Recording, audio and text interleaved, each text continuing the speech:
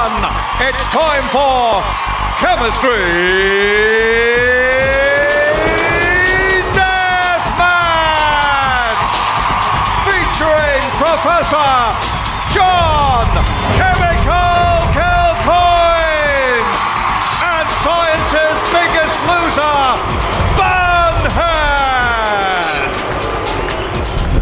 and the last time in round one, Kilcoyne took the lead with his dog bark sound. But who can produce the biggest bang? Gentlemen, I want a good, clean fight. Now turn to your corners and prepare your chemicals. And the bangs will be prepared inside metal tins. Kilcoyne's filling his with hydrogen gas, or H2. And Bunhead appears to be going for a much larger tin, and uh, by golly, that's not regulation. Inside, he's making his own acetylene gas. And there it is for you chemistry fans. Professor, please produce your bang. And there we are. Kilcoyne lights the hydrogen gas. Looks like it hasn't worked, but right now air is actually entering the tin and oxygen is mixing with the hydrogen. Look at that tin fly!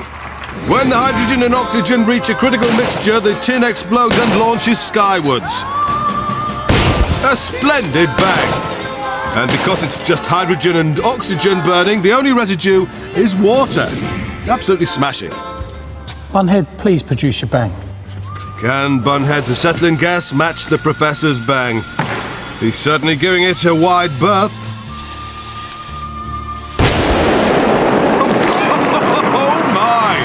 Utter destruction! The acetylene explodes, ripping the tin apart with an ear-shredding bang. There's no finesse here. Even Bunhead's residue is dirty, producing CO2 as well as water. But it's all about the bang. It's time for the judge's verdict. And it's a unanimous decision for Bunhead. Join us next time when our Titans of Titration will be competing to produce the most foam.